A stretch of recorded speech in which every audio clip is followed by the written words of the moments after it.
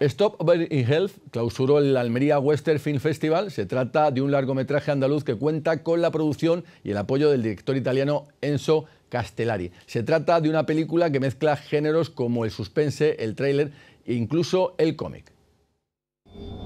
¿Te gustaría que te libere? Stop Over in Hell es una producción andaluza dirigida por Víctor Matellano que cuenta en sus créditos con dos nombres almerienses, David Turpín como director de producción y Juan Gabriel García como co-guionista. Este proyecto surgió precisamente hace dos años en el Almería Western Film Festival de 2014.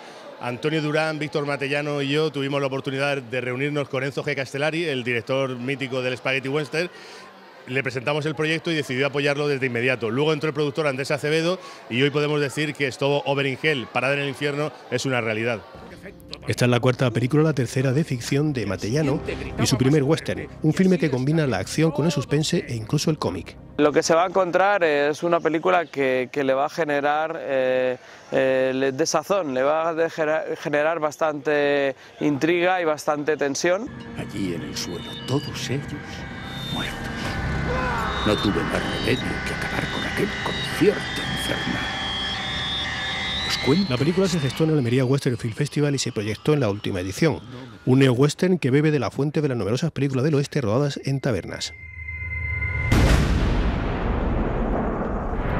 En Noticias 1 hablaremos del archivo de la pieza política de los cursos de formación del desgraciado accidente aportado por la vida de un niño de dos años de la vuelta a las 35 horas del trabajo del Cuco imputado por mentir en el juicio sobre Marta del Castillo.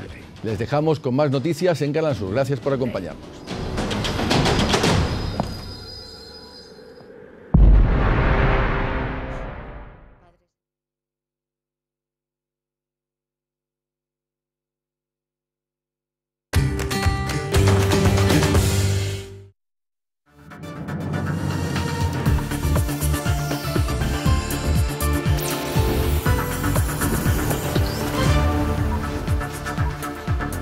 Flores en recuerdo del niño de dos años fallecido tras caer al vacío a través de esta barandilla rota en Marbella. El ayuntamiento ha decretado tres días de luto. El accidente se produjo el viernes y el menor ingresó